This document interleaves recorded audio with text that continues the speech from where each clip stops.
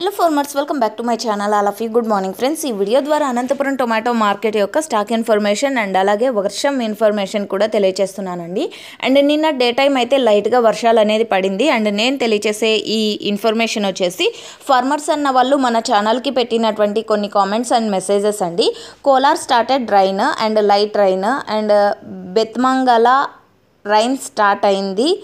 And Kolar district and Tiru Tirupati started rain. And Tirupati started rain full day.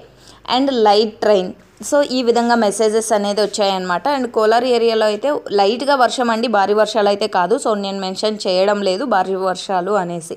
So లైట్గా rain అనేది start అయింది అనేసి చెప్పారనమాట farmers అన్న వాళ్ళు. అండ్ మీరున్న ప్లేసెస్లో వర్షాలు ఏ విధంగా పడ్డాయో ప్లీజ్ తెలియచేయండి కామెంట్ బాక్స్లో. అండ్ తెలియని వాళ్ళందరూ తెలుసుకుంటారు. ఇక ఈరోజు టోటల్ టమాటా స్టాక్ ఎనభై వేల ప్లస్ బాక్సెస్ వచ్చిందండి.